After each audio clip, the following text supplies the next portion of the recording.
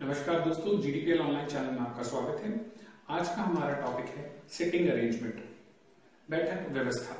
Rajasthan police में 2012 के जो पेपर हुआ था, उसमें एक प्रश्न आया था और इस बार हमारा मानना है कि ये प्रश्न आ सकता है। देखिए, बैठक व्यवस्था के अंदर प्रश्न विविध तरह से पूछे जा सकते हैं। इसका टाइप वन है, एक सीधी पंक्ति में एक पर्टिकुलर दिशा की ओर मुख करके कुछ व्यक्ति बैठे हैं। ऐसे प्रश्नों के अंदर दिक्कत यह होती है कि भैया हमें कुछ पता ही नहीं होता। और हमें प्रश्न शुरू कहाँ से करना होता है, ये भी हमें खुद ही ज्ञात करना होता है। तो पहला जो टाइप है, उसके अंदर बताया जाता है कि कुछ व्यक्ति हैं छ आठ, छह लोग होंगे, आठ लोग होंगे, या कभी किसी प्रश्न में पाँच लोग भी हो सकते हैं, और एक दिशा की ओर मुख करके बैठे होंगे। यदि प्रश्न में अगर नहीं दे रखा हो कि कौन सी दिशा की ओर मुख करके बैठे हैं, आप मान लीजिए उत्तर दिशा की ओर मुख करके बैठे हैं। इससे फ़ायदा ये होगा कि आपका दाया और बाया, प्रश्न का दाया बाया हो चुका होगा। तो प्रश्न करने में आसानी होगी।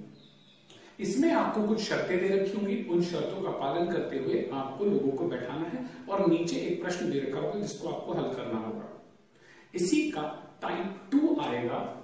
टाइप टू है, जिसमें दो पंक्ति में आमने सामने की तरफ़ मुख करके कुछ लोग बैठे हैं। इसमें साधारणतः जो प्रश्न देखे गए आठ से दस लोग आते हैं। इसमें भी आपने यही करना है कि पहले कोशिश करें कि नीचे वाली पंक्ति, जो कि उत्तर दिशा की ओर मुख करके बैठे हैं, उसके अंदर आप व्यवस्था पूर्ण कर लीजिए तो प्रश्न करना आसान हो जाएगा। बट ऐसे क्वेश्चन हमें राजस्थान पुलिस के पुराने पेपर्स में देखने को नहीं मिले हैं। सो so, हम इस पे थोड़ा सा फोकस कम रखेंगे। जो प्रश्न देखने को मिले हैं वो सीधी पंक्ति में या टाइप थ्री जिसके अंदर एक व्रत के गिर्द अंदर की ओर मुख करके कुछ व्यक्ति बैठे हैं। ऐसे प्रश्नों के अंदर भी या तो छह सात या आठ लोगों की व्यवस्था आपको बैठानी होगी। इसी में थोड़ा सा चेंज होते हुए प्रश्न किस प्रकार हो सकता है? प्रश्न इस प्रकार आएगा, एक व्रत में कुछ लोग अंदर देख रहे हैं और कुछ लोग बाहर की ओर देख रहे हैं। संख्या उतनी ही हो सकती है, छह, सात या आठ लोगों की। ये प्रश्न थोड़ा मुश्किल होता है करने के लिए। आज हम आपको इस वीडियो के माध्यम से छोटी छोटी बातें बताएँगे जिसके जिसके साथ आप इस प्रश्न को कर सकते हैं। देखिए, अभी हम बात बता चुके हैं, एक जब सीधी पंक्ति में आ जाए तो आपने तो ये मानना है कि उत्तर दिशा की ओर मुख करके सभी लोग बैठे हैं। चाहे प्रश्न में दे रखा हो तो ठीक है। नहीं दे रखा हो तो उत्तर दिशा मान लीजिए। लेकिन अगर व्रत की बात करें, एक व्रत में अंदर की ओर मुख करके अगर व्यक्ति बैठे हैं, सारे सारे के सारे, सुन लीजिएगा, सारे के सारे तो आप लोगों ने तो इतना सा करना है कि सबसे पहले कोशिश यहाँ करनी है कि आपका जो पहला व्यक्ति है, पहली शर्त है, वो यहाँ पे बैठे। इससे प्रश्न का दाया और बाया, आपका दाया और बाया बन चुका होगा, जिसकी वजह से आपको प्रश्न करने में बहुत आसानी होगी। अब हम आपको पहले टाइप पे कुछ क्वेश्चन कराएँगे। आपकी स्क्रीन पे बहुत सारे क्वेश्चन दिखेंगे। उन क्वेश्चन में से अगर आप वीडियो पॉज करके लिखना चाहें तो लिख सकते हैं।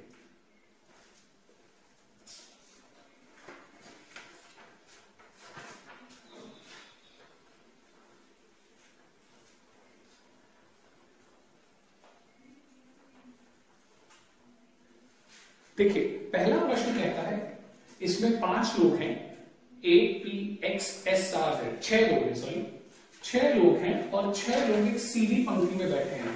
तो अपन एक काम करते हैं, जब भी क्वेश्चन नंबर वन देख रहे हैं हम, इसमें कौन कौन दे रखा है? A P X S R और जेड एक सीधी पंक्ति में बैठे हैं। एक, दो, तीन, चार, पाँच, छह। हमने छह कुर्सियाँ यहाँ लगा दी हैं। अब हम जो जो शर्तें दे रखी हैं, उसका पालन करते हुए बैठाएँगे। यहाँ पर एक पॉइंट नोट कर लीजिए, हम कभी भी व्यवस्था पूरी यहाँ नहीं बैठाते हैं। हम पहले एक छोटे से संक्षिप्त रूप में नोट्स बना लेते हैं। फिर इन नोट्स की मदद से हम इस प्रश्न को हल करने की कोशिश करेंगे। देखिए, पहली शर्त कहती है एस और जेड बीच में बैठे हैं। अब देखिए, यहाँ पे प्रश्न में निर्धारित नहीं कर रखा कि कौन सी दिशा में बैठे हैं। तो हम क्या मानेंगे? ये सारे के सारे छह लोग उत्तर दिशा की ओर मुख करके बैठे हैं, जिससे प्रश्न का दाया और बाया हमारा दाया बाया बन चुका है।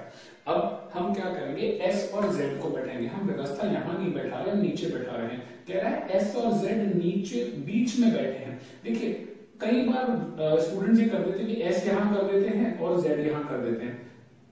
आप ऐसे नहीं कर सकते। इसमें पॉइंट नंबर टू ये है कि आप कोई भी पूर्व धारणा अपने दिमाग में नहीं रखनी है। कोई भी पूर्व धारणा नहीं रखनी तो मैं क्या करूँगा? मैंने ये माना, मैंने पॉइंट नंबर वन में लिखा एस या जेड में से कोई एक व्यक्ति या तो यहाँ बैठा होगा, या एस और जेड में से कोई एक व्यक्ति यहाँ बैठा होगा। मैंने ये लिख ली। दोनों कंडीशंस मैंने लिखी हैं। देखिए, एक ही बात की, दो कंडीशन बन चुकी है। एस और जेड या तो यहाँ होगा, या एस और जेड में से कोई व्यक्ति यहाँ होगा।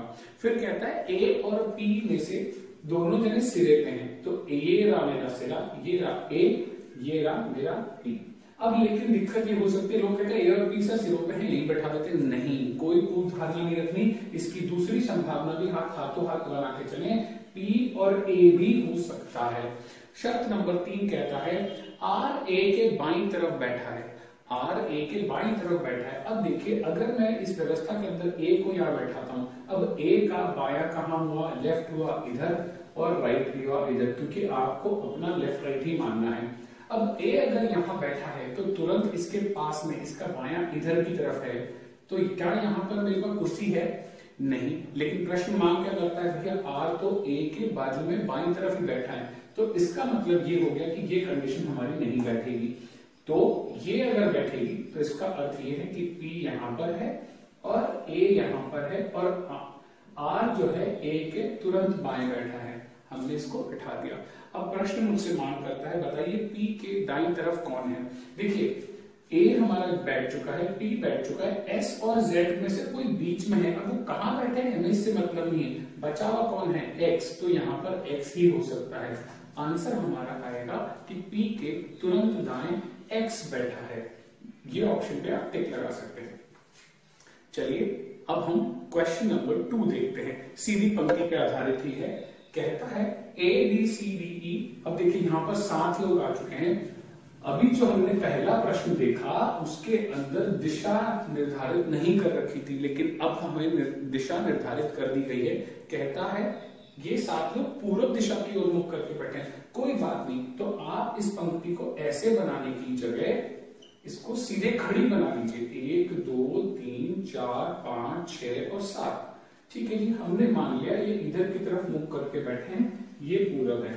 ठीक है, अब देखते हैं प्रश्न की पहली शर्त क्या कहती है। कहती है, सी, डी के एकदम दाएँ बैठा है। देखिए, मैं यहाँ पर तो इस नोट्स को मैं यहाँ बनाना शुरू करूँगा, कभी भी मैं व्यवस्था इसमें नहीं बैठा था।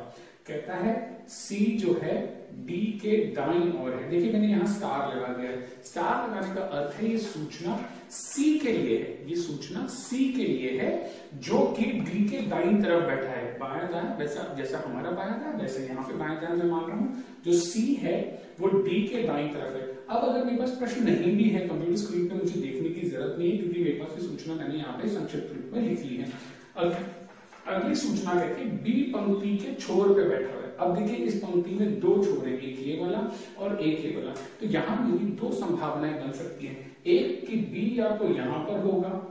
एक, दो, तीन, चार, पाँच, छह, सात, या फिर बी यहाँ पर होगा।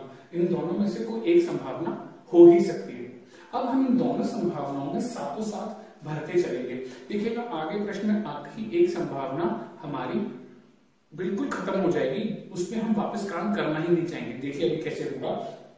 कहता है अच्छा उसके बाद कहता है, ई जो है, उसके तुरंत पास में बैठा है। अब बी के तुरंत पास में यहाँ पर कौन बैठा है? ई। तो मैं, ये पॉसिबिलिटी नंबर वन थी, ये पॉसिबिलिटी नंबर टू थी, यहाँ पर मैंने ई को बैठा दिया। ई को बैठाने के बाद मैंने कहा, कहता है अगली सूचना प्रश्न में कि जी जो है, ई और एफ़ के ठीक बीच में है। तो जहाँ पर भी जी बैठा है, उसके दोनों तरफ़ क्या है? E और इधर कौन होगा? एफ़ इधर यहाँ e बैठा है जी और एफ़ चलिए, दोनों पॉसिबिलिटी अपने लगा दी। फिर कहता है, देखिए, अब आ चुकी है प्रश्न में बिल्कुल निश्चित सूचना।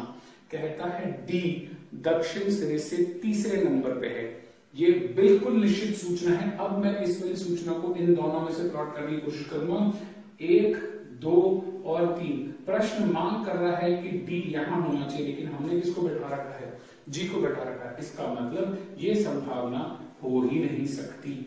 अब देखिए, कोई भी संभावना अगर रिजेक्ट हो जाती है तो मुझे उस पर वापस काम करने की ज़रूरत नहीं है। ये खत्म हो चुका, खत्म। अब ये जो बच गई है, यही मेरी सही संभावना है। तो अब मैं क्या करूँगा? डी को यहाँ बैठा दूँगा और डी क्योंकि अब यहाँ पे देखिए लेफ़्ट यहाँ पर है और लाइट राइट यहाँ पर है, क्योंकि ये पूर्व दिशा की ओर मुख करके बैठे हैं। और डी के तुरंत दाएँ कौन बैठा है सी अब A B C D E F G लोग थे, छह लोग बैठ चुके, आखिरी कौन बचा ए तो ए अब यही हो सकता है। और प्रश्न में पूछा भी ये गया है कि वे व्यक्ति कौन है जो छोरों पर बैठे हैं? तो एक तो व्यक्ति कौन था मेरा? बी, और दूसरा व्यक्ति कौन है? ए। जो भी ऑप्शन मिलेगा तो बी या ए या ए या बी लिखा हो, वो ऑप्शन मेरा करेक्ट होगा। ठीक है जी? चलिए, अब स्क्रीन पे आप क्वेश्चन नंबर थ्री देखिए।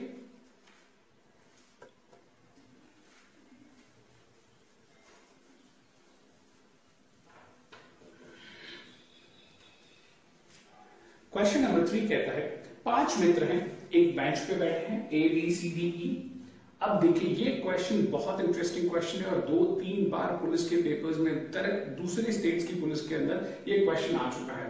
पाँच लोग हैं तो पहले हम पाँच कुर्सियाँ लगा लेते हैं। दो, तीन, चार और पाँच।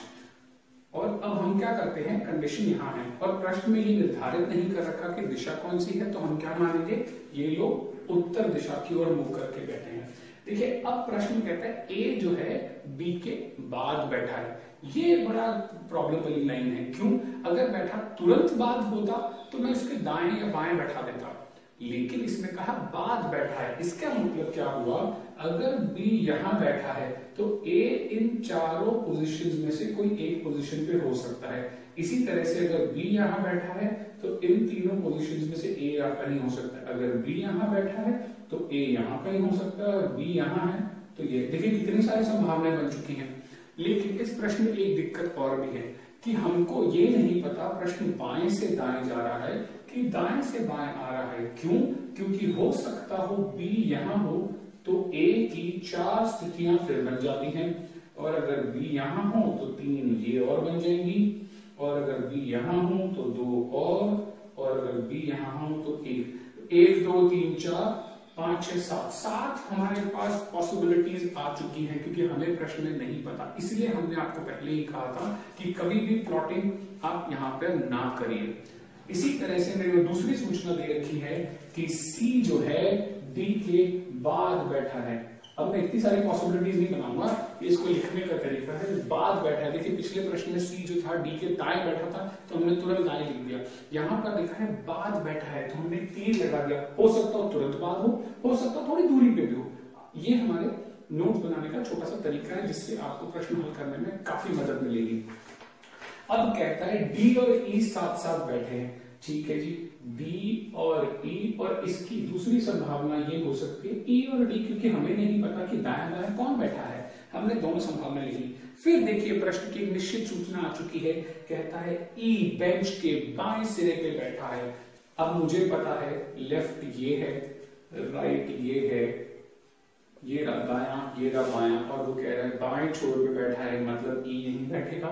और उसके तुरंत पास में कौन बैठा है? डी मतलब ये संभावना नहीं, ये वाली हमारी सही है। फिर देखिए, कहता है, दाएँ सी, दाएँ से दूसरे स्थान पर बैठा है। सी जो है, दाएँ से दूसरे स्थान पर बैठा है। ये पहला स्थान था, ये दूसरा, ये सी आ चुका। अब मुझे यहाँ पर ये ज्ञात हो गया कि प्रश्न जो है, बाएँ से दाएँ जा रहा है दाएँ से बाएँ नहीं आ रहा, क्योंकि इसमें ये वाली सूचना बैठ रही है कि जो सी है डी के बाद बैठा है। बाद बैठा है। अब मुझे निश्चित हो गया कि भैया, ये प्रश्न बाएँ से दाएँ जा रहा है, दाएँ से बाएँ नहीं आ रहा। उसके बाद कहता है ए जो है बी के दाई तरफ़ है और ई e के भी दाई तरफ़ है। तो अब तो देखिए, बिल्कुल निश्चित ही है कि जब भाई बाएँ से दाएँ क्वेश्चन जा रहा है और लिखा भी है कि जो ए है बी के बाद बैठा है तो इसका मतलब बी यहाँ होगा और ए यहाँ होगा।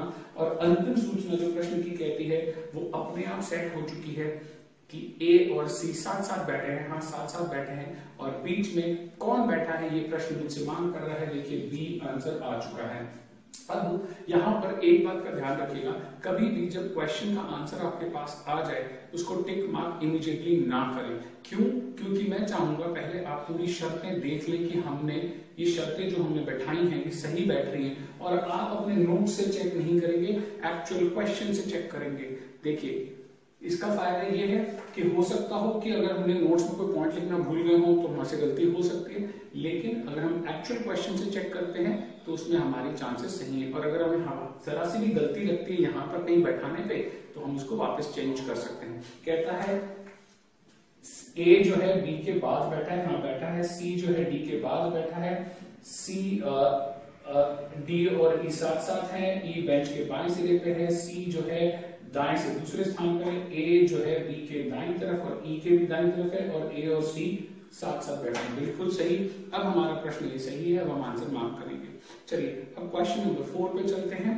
आपकी स्क्रीन पे दिख रहा है।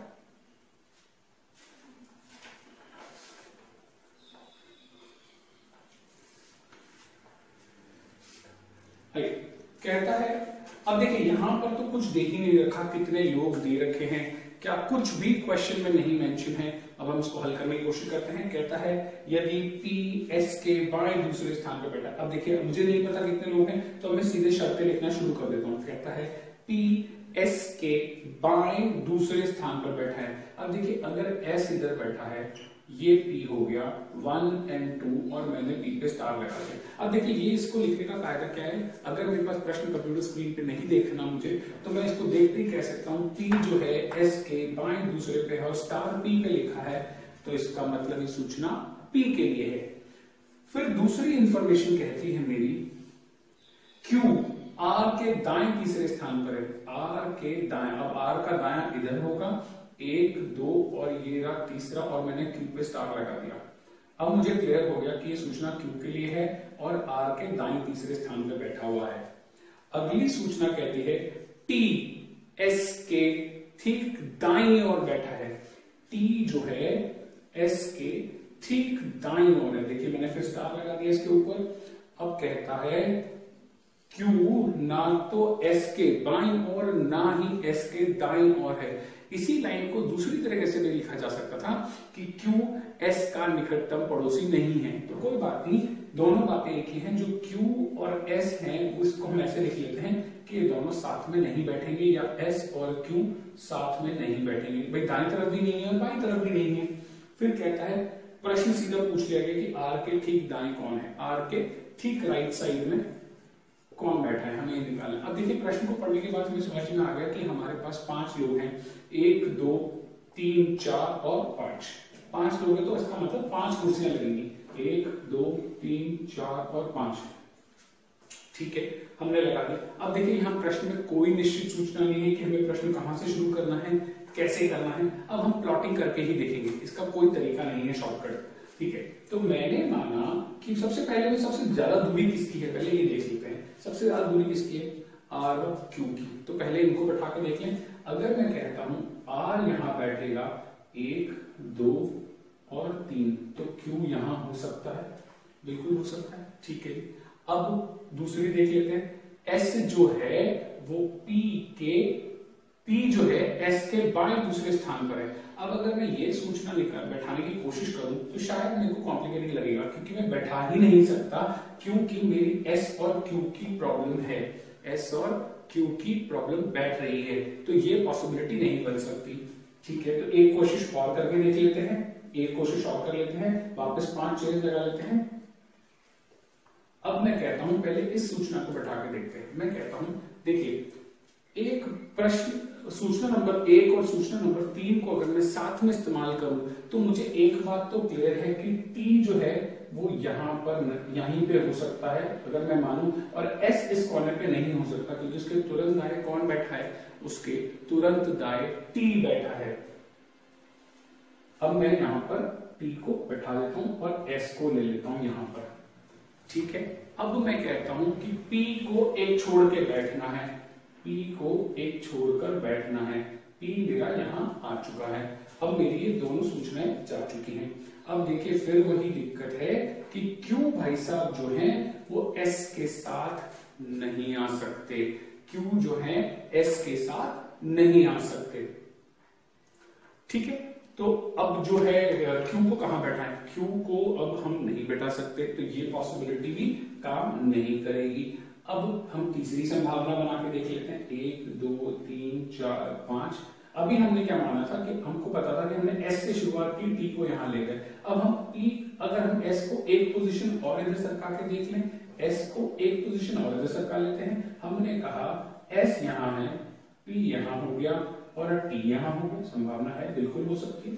बिल्कुल हो सकती है। पहली संभावना नहीं बैठी, दूसरी नहीं बैठी। हमें इसके अंदर संभावना पे ही जाना पड़ेगा। और अब ये तो हम बैठा ही चुके हैं। अब एक बार ये ट्राई कर लेते हैं क्या आर और क्यू की कॉम्बिनेशन बैठ सकता है? आर यहाँ पर है और क्यू यहाँ पर है। कोई बात नहीं, बैठ गया। अब देख लेते क्या हमारी शर्तें पूरी हो रही हैं। हाँ हो रही हैं जी। एस के बाएँ दूसरा पी है। आर के दाएँ तीसरा क्यू है। एस के तुरंत दाएँ टी है और जो क्यू भाई साहब है, वो एस के बाएँ और दाएँ तरफ़ नहीं है। ठीक है तो कंडीशन हमारी सारी बैठ रही है। तो अब हम प्रश्न को पढ़ते हैं कि आर के ठीक दाई ओर कौन बैठा है? आर के ठीक दाई ओर कौन बैठा है? एस बैठा है। देखिए ये क्वेश्चन थोड़ा इंटरेस्टिंग क्वेश्चन था। इसमें हमें कॉम्बिनेशन बनाने पड़े। चलिए अब क्वेश्चन नंबर फाइव आपकी स्क्रीन पे है। देखिए। चलिए क्वेश्चन नंबर फाइव पे हम फोकस uh, करते हैं। कहता है सात लड़के हैं A B C D E F G एक लाइन में खड़े हैं। चलिए हम उनकी कंडीशन लिखना शुरू करते हैं। कहता है जी जो है ए और ई e के बीच में है। तो हमने इसको ऐसे लिख लिया और स्टार लगा लेते हैं जी के ऊपर। ठीक है, कहता है एफ़ और ए के बीच में एक लड़का है या फिर ए और एफ़ के बीच में एक लड़का है। ठीक है, कहता है ई e और सी के बीच दो लड़के हैं। ठीक है, हम इसको वैसे भी लिख सकते हैं। ठीक है, फिर कहता है चौथा डी एफ़ के ठीक दाई और एफ़ के ठीक दाई और कौन है? डी है। कहता है, और आखिरी कंडीशन सी और बी के बीच में तीन लड़के हैं. अब देखिए, दिक्कत यह है कि इस प्रश्न के अंदर भी कोई निश्चित सूचना नहीं है। हमें ट्रायल एंड एरर मेथड से इसको हल करना पड़ेगा। पहले प्लॉटिंग करके देखनी पड़ेगी कौन सा व्यक्ति कहाँ बैठ सकता है। ठीक, चलिए तो अभी काम करते हैं एफ़ और डी एक ही निश्चित सूचना दे रखी है। या तो हम प्रश्न को बाई तरफ़ से, ये हमारा बाई तरफ़ है, ये हमारा दाई तरफ़ है, यहाँ से शुरू कर लेते हैं। देखिए बीच में व्यक्तियों की संख्या ज़्यादा है और ये दो व्यक्ति साथ में है तो मैं इनको कहीं पे भी बैठाना शुरू कर सकता हूँ। मैं कहता हूँ, चलिए, मैं मान लेता हूँ दाएँ छोर पे एफ़ यहाँ है और डी इसके ठीक दाएँ हो है, क्योंकि एफ़ यहाँ तो हो ही नहीं सकता, क्योंकि डी उसके बाहर निकल जाएगा। तो इन दोनों को तो निश्चित सूचना के आधार पर मानते हुए हम सेट कर लेते हैं कि एफ़ और डी एफ़ राइट अंतिम छोड़ के दाएँ, अंतिम छोड़ के आगे जा ही नहीं सकता एफ़ तो यही हो सकता है। फिर इसके बाद में ये वाली कंडीशन कंडीशन नंबर टू पे आना चाहूँगा। कहता है एफ़ और ए के बीच में एक व्यक्ति है तो एक व्यक्ति छोड़ा और एफ़ ए को मैंने यहाँ बैठा दिया। ए को मैंने यहाँ बैठा दिया है। और इसको मैं मार्क कर देता हूँ कि मैंने लगा लिया है। अब मैं देखता हूँ कि ए की कोई सूचना दे रखी है। हाँ ए की सूचना ये दे रखी है मेरे को। ए की सूचना दे रखी है। क्या कहता है? ए और ई e के बीच में कौन बैठा है? जी अब देखिए जी यहाँ तो हो नहीं सकता। तो इसका अर्थ क्या हुआ? जी यही होगा और ई e यही आ सकता है। भाई जी यहाँ आ ही नहीं सकता ना, क्योंकि ई e आ जाएगा फिर तो। तो ये हो सकता है। फिर उसके बाद देख लेते हैं, कोई दूसरी सूचना। ई से संबंधित हाँ तीसरे नंबर की दे रखी है। इन दोनों के बीच की कितने व्यक्ति हैं? सी अब सी तो इधर जा ही नहीं सकता था तो इधर ही जा सकता था। और अंतिम सूचना क्या कहती है? बी और सी के बीच में तीन व्यक्ति हैं तो एक ही जगह बच रही है। बी यहीं बैठ सकता है। अब हम सारी कंडीशन चेक कर लेते हैं। ए और ई e के बीच में जी बैठा है एफ़ और ए के बीच में एक व्यक्ति है ई e और सी के बीच में दो व्यक्ति हैं और सी और बी के बीच में तीन व्यक्ति सही आ रहा है। और क्वेश्चन हमसे कहता है बाएँ ओर से दूसरा व्यक्ति कौन सा है? तो बाया हमारा इधर है इसका दूसरा व्यक्ति ये रहा ई e, हमारा आंसर होगा ई देखिए ये सब सीधी पंक्ति के क्वेश्चन थे। अब हम देखेंगे, एक व्रत के गिर्द अगर खूब सारे लोग बैठे हों तो उसको कैसे हैंडल करना है? स्क्रीन पे आपको क्वेश्चन दिखाई दे रहे हैं।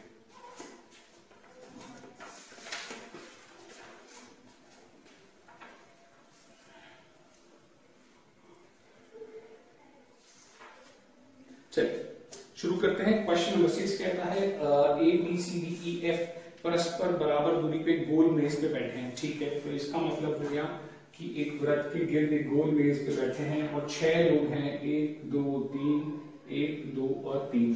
ठीक है। आ, कहता है एफ़ ई e के ठीक सामने बैठा है। एफ़ जो है ई e के ठीक सामने बैठा है। देखिए मैं हम लोगों ने पहले भी डिस्कस किया था जब भी ऐसा प्रश्न आ जाए आप कोशिश करके इस वाली जगह पे पहले व्यक्ति को बैठा दें। पहले बैठाने में बड़ी आसानी होती है क्योंकि आपका दाया बाया प्रश्न का दाया होता है। कहता है एफ़ जो है ई e के ठीक सामने बैठा है। तो मैंने ये मान लिया एफ़ और ठीक आमने सामने बैठे हैं और उनके अंदर की तरफ़ मुख करके बैठे इसलिए मुझे कोई टेंशन की बात ही नहीं है। फिर कहता है, ए और डी ठीक सामने है और ए और डी के बीच में बैठा है। अब देखिए, ये सूचना बड़ी इंटरेस्टिंग कहता है, एफ़ ई के ठीक सामने है और ए और डी के बीच में बैठे देखिए, यहाँ पर हम आपको कॉन्सेप्ट समझाना चाहते हैं पहले। जब भी प्रश्न में, सुनिएगा बड़ा इंटरेस्टिंग कॉन्सेप्ट है, काफ़ी सारे लोग कंफ्यूज होते हैं। कहता है एफ़ ई e और कोई लाइन और अगर देखिए, ये नोट कर लीजिएगा, जो, और आगे कोई सूचना आ जाए। देखिए, अगर वाक्य ऐसा होता हमारा एफ़ कॉमा ई फिर एक लाइन लिखी होती जो ठीक सामने बैठा, जो लिखा हुआ आ जाता जो तो ये जो के बाद वाली जो भी सूचना होती है किस व्यक्ति के लिए होती? ये दूसरे वाक्य में दूसरे व्यक्ति के लिए होती है। इस पॉइंट को आप ध्यान से नोट कर लीजिए। यहाँ पर एफ़ और ई लिखा और साथ में जो आ जाए तो जो के बाद वाली सूचना किसके लिए होगी? सेकेंड पर्सन के लिए होगी दूसरे व्यक्ति के लिए होगी। लेकिन साथ में अब यहाँ पर जो हमें प्रश्न जैसा दे रखा है एफ़ और ई e, और साथ में क्या लिखा है? और। तो और के बाद वाली जो सूचना होती है ये हमेशा वाक्य में प्रथम व्यक्ति के लिए होती है। अब यहाँ पर प्रथम व्यक्ति कौन है? एफ़। तो एफ़ के लिए सूचना है। एफ़ जो है ए और डी के बीच में बैठा है। अब देखिए, मैं यहाँ पर पूर्ण धारणा नहीं कर सकता। ए और डी में से कोई एक व्यक्ति यहाँ होगा और ए और डी में से कोई एक व्यक्ति यहाँ पर होगा। फिर कहता है सी ई e के दाहिनी ओर सी ई e के दाहिनी ओर है। अच्छा अब सी ई e के दाहिनी ओर मतलब ये यहाँ है। फिर अगली लाइन कहती है, और ए के ठीक सामने बैठा है। ए के ठीक सामने बैठा है। अब तो निश्चित ही हो गया ए के ठीक सामने मतलब ए यही हो सकता है डी नहीं होगा। यहाँ पर कौन आएगा? ए और वहाँ कौन हो जाएगा अब? यहाँ पर ए नहीं रहेगा, यहाँ डी आ जाएगा। फिर कहता है सी ई के ठीक हाँ ठीक है जी ए किन के साथ बैठा हुआ है? अब अब देखिए, छह लोग थे तो इसका मतलब बी ही बचा है जो यहाँ बैठ सकता है, कहता है ए के साथ कौन कौन बैठा है? बी और F I think option number four इसमें आंसर आ जाएगा। ठीक है? अब अगला क्वेश्चन देखते हैं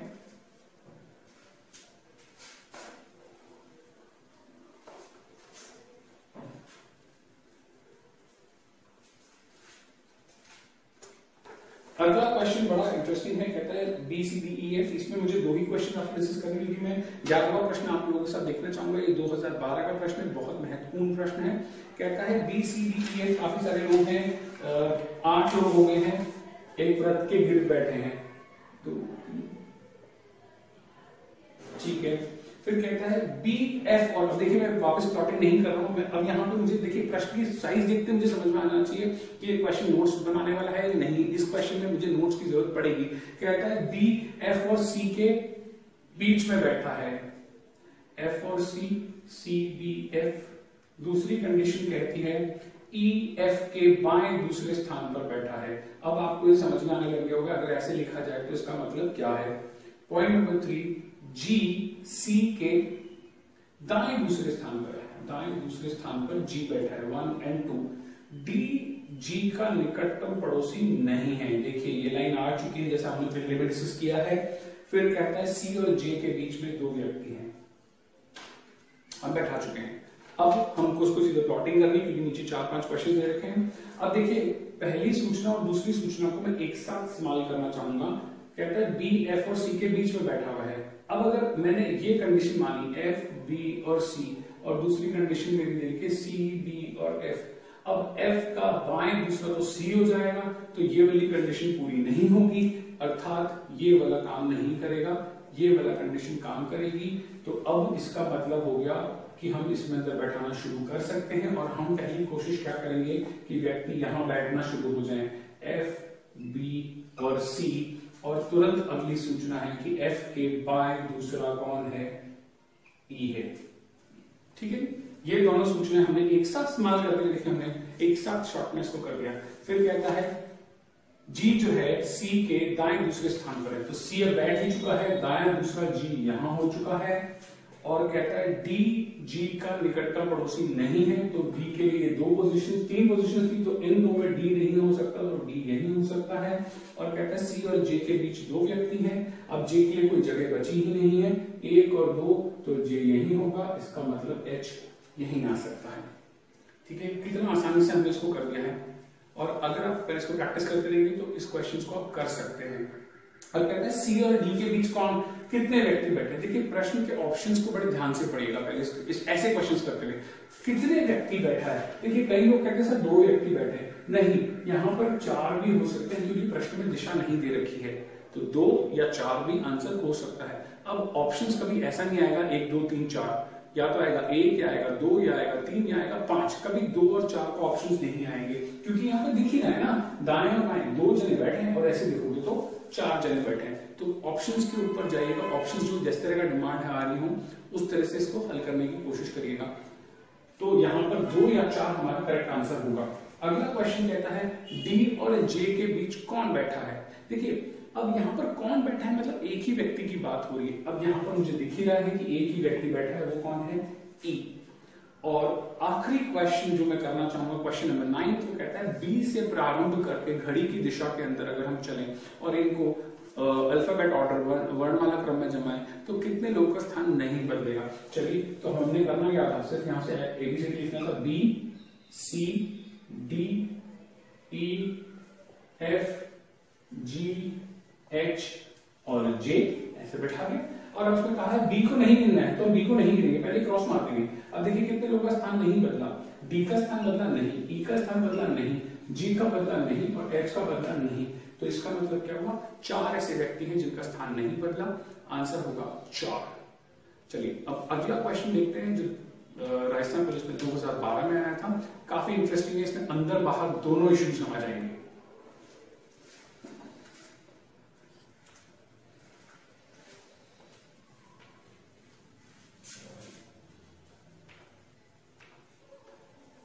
चलिए क्वेश्चन देखते हैं। क्वेश्चन क्या कहता है? कहता है A B C D E F G एक, देखिए यहाँ पे A B C D E F G सात लोग हैं, एक व्रत के गिर्द बैठे हैं, ठीक है जी, एक व्रत के गिर्द बैठे हैं, अब एक, दो, तीन, चार, पाँच छ और सात, अब मैंने सात लोग बैठा दिए हैं, अब कहते हैं, ओहो, यहाँ पर कहानी इंटरेस्टिंग है, कहता है, पाँच लोग बाहर की तरफ़ देख रहे हैं अब सात लोग थे, पाँच बाहर देख रहे हैं तो दो अंदर ही देखने वाले हैं भाई तो दो ही अंदर आएँगे, पाँच बाहर जाएँगे। अब देखिए कहता है सी डी के बाएँ तीसरे बैठा है। क्वेश्चन नंबर वन कहता है सी डी के बाएँ तीसरे स्थान पर है। सी डी के बाएँ को तीसरे है। और दोनों का मुख केंद्र की ओर है। अब दोनों का मुख्य केंद्र की ओर है का मतलब क्या हो गया? हम यहाँ पर सबसे पहले बैठाने की कोशिश करेंगे। और किसको बैठाएँगे? डी को। अब देख लेते हैं देखिए, यहाँ लेफ़्ट लिख दिया मैंने, यहाँ राइट लिख दिया। डी यहाँ बैठेगा। डी का लेफ़्ट इधर होगा। इधर तो बाया तीसरा कौन सा हो गया? एक, दो, तीन। और ये दोनों कहाँ देख रहे हैं? अंदर की तरफ़ देख रहे हैं। तो मैं इनको अंदर की तरफ़ वाला तीर लगा दूँगा। अब दूसरी निशान कह रहा है, न ई e ना तो डी के ना सी के बगल में है। अब देखिए, इस कंडीशन को सीधे बैठा सकता हूँ। देखिए ई e यहाँ नहीं हो सकता। ई e जो है, एक तो यहाँ नहीं हो सकता। ई एक कहा नहीं हो सकता, यहाँ नहीं हो सकता। इसी तरह से ई यहाँ पर भी नहीं हो सकता और यहाँ पर भी नहीं हो सकता। और मुझे पता है, ये सब लोग कौन है? बच्चे पाँच लोग जो कि बाहर देख रहे हैं। अब देखिए ई यहाँ यहाँ यहाँ और यहाँ नहीं हो सकता। चार जगह नहीं हो सकता। दो जगह पे सी और डी बैठ चुके हैं तो सिर्फ़ एक ही रिक्त स्थान है वो कौन सा है? ये। तो बिल्कुल निश्चित हो गया कि ई e, यहीं बैठेगा। अब अगली लाइन देखते हैं। जो डी व एफ़ के ठीक बीचों बीच बैठा है डी और एफ़ के ठीक बीचों बीच बैठा है। ठीक है जी। डी और एफ़ के ठीक बीचों बीच बैठा है, वो केंद्र के विपरीत। अरे, हमको पता ही है, प्रश्न में दो ही जने अंदर देख रहे हैं, बाकी सब बाहर ही बैठने वाले हैं। तो अब क्या हो गया? देखिए ई e को हम हटा देते हैं। या तो एफ़ यहाँ पर हो सकता है, एक संभावना डी और एफ़ और दूसरी संभावना क्या हो सकती है कि डी डी और एफ़ वो तो हो ही नहीं सकता, बिल्कुल नहीं हो सकता। क्यों? क्योंकि यहाँ पर तो ऑलरेडी एक जना बैठ चुका है। तो अब तो बिल्कुल ही निश्चित हो चुका है कि एफ़ भाई साहब यही बैठेंगे। देखिए क्वेश्चन के साथ चलते चले। बिल्कुल आसानी से क्वेश्चन होता जाएगा। विपरीत में कहता है जी ए के दाएँ को तीसरे स्थान पर बैठा है। अच्छा अगर हम इसको लिख लें, दूसरी कंडीशन जी जो है ए के वन वन टू और थ्री ठीक है अब हम देख लेते हैं कि ए कहाँ बैठ सकता है। अब देखिए ए अगर यहाँ बैठता है अभी देखिए तो हमें पता है, बाहर ही देख रहा है। अगर कोई व्यक्ति बाहर देख रहा है तो उसका दाया की तरफ़ उल्टा हो जाएगा। अगर ए यहाँ बैठता है, एक, दो और तीन, जिसका मतलब जी यहीं पर हो सकता है। तो ये कंडीशन और ये कंडीशन हमारी प्लॉट हो चुकी है। अब देखिए, एक ही व्यक्ति बच रहा है। एक, दो, तीन, चार, पाँच, छह जने बैठ चुके हैं। अब बी यहीं पर हो सकता है। हमारा प्रश्न कितनी आसानी से हो गया है? हमने सिर्फ़ नोट्स और देखिए, हमने दोनों चीज़ों का साथ साथ इस्तेमाल किया है और हमारा काम हो जाएगा। फिर कहता है, अगर ए को ए से प्रारंभ करके ए से प्रारंभ करके अगर वर्णमाला क्रम में इनको बैठाया जाए वापस घड़ी की दिशा में तो कितने लोगों का स्थान बदलेगा? कितनी लोगों का स्थान बदलेगा? नहीं बदलेगा सॉरी और ए को छोड़कर। अब ए से शुरू करना है। A B C D E F और जी अब ए को तो भाई गिनना ही नहीं था तो उसको तो पहले काट दिया जाए। अब देख लेते हैं यहाँ भी ये एक तो ये मिल गया मुझे, एक मुझे ये मिल गया। तो आंसर कितने आए कितने लोगों का स्थान नहीं बदला? दो लोगों का स्थान नहीं बदला। ऑप्शन नंबर सी इसमें आंसर आ जाएगा। ये था बैठक व्यवस्था के कुछ क्वेश्चन एक सीधी पंक्ति में और एक वृत्ताकार ज़्यादातर कॉम्बिनेशन या चांसेस ये है कि इसमें व्रत के ऊपर ही क्वेश्चन आएगा। जीडीपीएल चैनल को लाइक करना शेयर करना और उस पर कमेंट करना ना भूलें। अपना फीडबैक देते रहें और हम पहले भी बोलते हैं, अगर आपको कोई क्वेश्चन है तो प्लीज़ कमेंट बॉक्स में डालें। हम डेफिनेटली उसके लिए एक वीडियो बना के आप लोगों के लिए अपलोड करेंगे। देखते रहिए।